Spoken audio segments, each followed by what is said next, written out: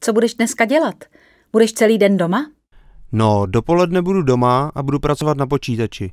Odpoledne pojedu do práce, budeme plánovat nový projekt. A co budeš dělat ty? Teď ráno půjdu k doktorovi, pak se sejdu s kamarádkou a odpoledne půjdu na jogu. A co budeme dělat večer? Nechceš jít do divadla? Moment. Tady mám program. Třeba v divadle Melodie dávají muzikál Drákula. Zavolám tam, jestli mají lístky. Tak dobře, ale já už musím letět. Zavolám ti. Měj se hezky. Ty taky. Ahoj.